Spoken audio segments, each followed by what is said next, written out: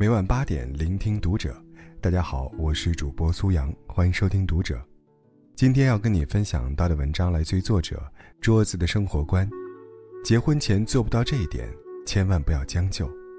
关注读者微信公众号，一起成为更好的读者。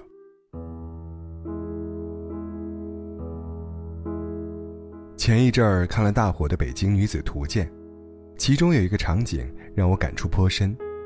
戚薇饰演的陈可过生日那天，男朋友张超拿出了一个 LV 的盒子。陈可激动的差点跳起来，结果打开盒子傻了眼。盒子里是一件到处是线头的 LV 真丝睡衣，睡衣当然是假的。张超炫耀是淘宝买的，二百九十九包邮。那一瞬间，陈可表情复杂，她内心是失望的。原本以为男朋友送的是真的 LV 包包，却不料是一件睡衣，而且还是假的。他看到了横在两个人之间的巨大差距。后来，压死两人感情的最后一根稻草出现了。张超要带陈可去一个高级自助餐厅吃饭，为此，他专门做了一份攻略：不喝水占肚子，从最贵的食物拿起，一副不把饭钱吃够本不罢休的架势。就连陈可说不想吃这些，只想喝点酒庆祝，都被男朋友严词拒绝。她全然沉浸在。自己占到便宜的那种兴奋感中无法自拔，完全忽略了陈可的感受。那一刻，陈可仿佛看到了和张超结婚之后，未来无数个这样的时刻。为了一顿自助餐，让自己变成一个用尽浑身解数也要占到便宜的小家子气女子，这是她无法忍受的样子。到底是为了身体适量吃饭重要，还是胡吃海喝占便宜重要呢？很明显，陈可选择了前者，而张超选择了后者。这成了两个人之间最致命的一点。在张超吃撑了去药房买健胃消食片时，陈可没说一句话就离开了他，为这段感情画上了句号。有人说，陈可因为一件假 LV 就分手，实在是爱慕虚荣；有人说，张超太抠了，吃个自助餐都要做攻略。一副穷酸样子，爱情会长久才奇怪呢。其实，两个人都没有完全的立场正确，只是观念不一致罢了。陈可其实也不一定是要奢侈品当礼物，他要的是对方的一个态度。如果你只有二百九十九元，我更愿意你给我准备用心一点的礼物，而不是让我觉得我在你心里就只配得到一个假的 LV。吃自助餐也是。没钱的话，可以去便宜一点的地方，而不是这样算计来算计去，把自己的胃撑坏。但张超想给他买名牌，又没有足够的经济实力，所以只能送个假的。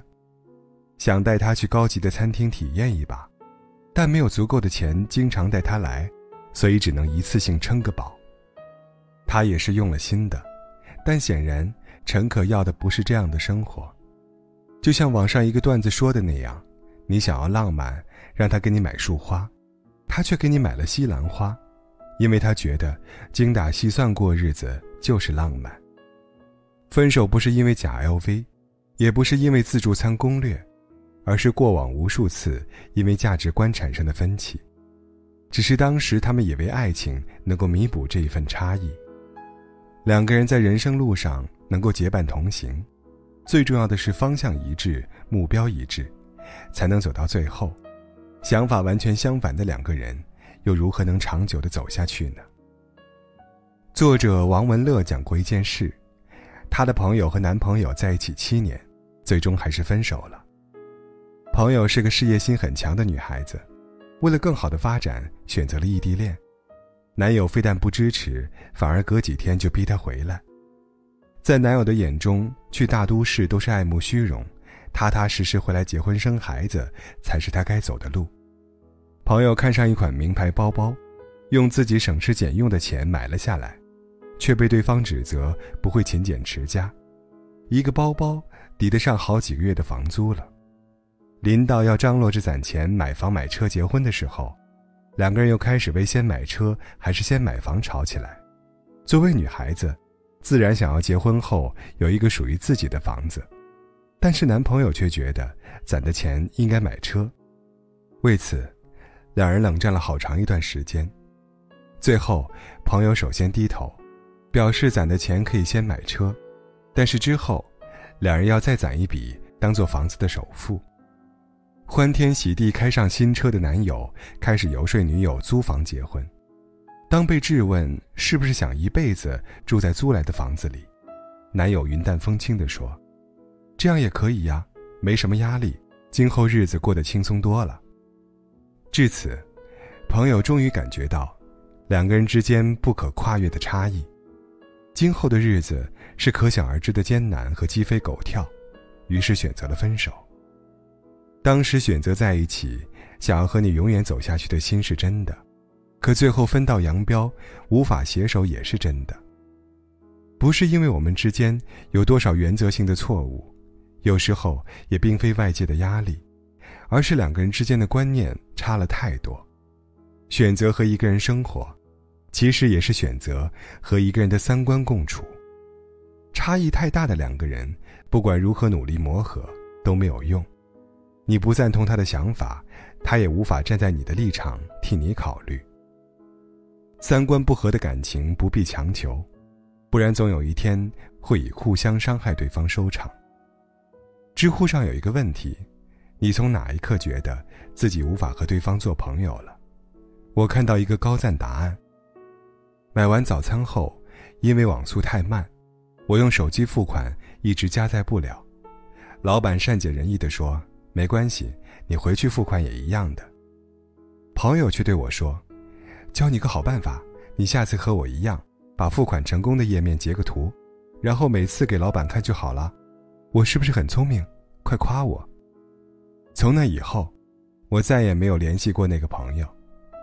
人与人之间，是什么时候开始疏远的？不是距离，不是仇恨，不是少于联系，而是渐行渐远的价值观。看电影《志明与春娇》三部曲时，总是疑惑。为什么年轻帅气会撩妹的张志明，会爱一个不很美、不很有钱、脾气还不大好的熟女？可看完之后才发现，这份爱是有迹可循的。当余春娇问为什么香港很少看到 UFO，张志明就约她一起去水库看 UFO。张志明有一个奇怪的癖好，把干冰放在马桶里看烟雾升腾。他曾经的女友不能理解，后来的新女友尚悠悠也嫌脏，而只有余春娇，会开心的大叫，和他一起分享这个乐趣。在张志明抽烟被警察发现时，张志明假装成日本人逃避罚款，余春娇马上就能假装韩国人和他一起演戏。张志明所有的恶趣味和小聪明，余春娇都能无缝对接。分手之后。余春娇说：“我努力想摆脱张志明，却没想到变成了另一个张志明。其实不是，是他们骨子里本身就是同一类人，所以，在兜兜转转之后，还是回到了对方身边。两个人在一起，就算性格有天壤之别，但或多或少从对方身上，你能看到自己的影子。很多时候。”我们总在说三观不合，其实三观并不是要求完全一样，而是能够求同存异。你跟我虽然不一样，但是我能尊重、能包容你的与众不同。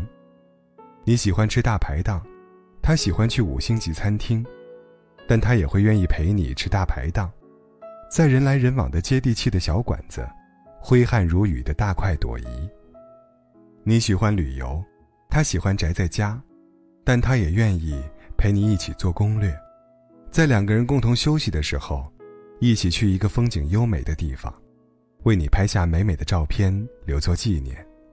你喜欢看书，他喜欢打游戏，但他也会时不时问问你看了什么书，认认真真的听你分析故事中的情节。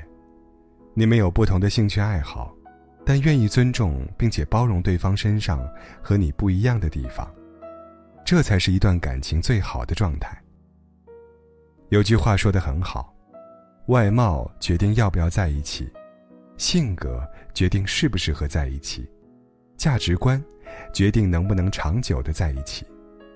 如果一个人对你所表达的情感、观点、新的事物，他给的说法总是不着边际、敷衍了事，甚至有时会用他的那一套世界观对你进行批评，强加给你他的观点，到最后双方都会很累。一些小事就能让你们争吵，直到消耗彼此唯一仅存的爱。就像刘瑜说的那样，不了解并不可怕，可怕的是拒绝了解，并为这种拒绝而洋洋得意。人生的日子都是越过越少，可剩下来的人都是越来越重要。精神上的门当户对比物质更重要。即使没有那么多灵魂上的契合，但愿他会为了你，成为一个更适合的人。好的感情，永远只会发生在相似的灵魂上面。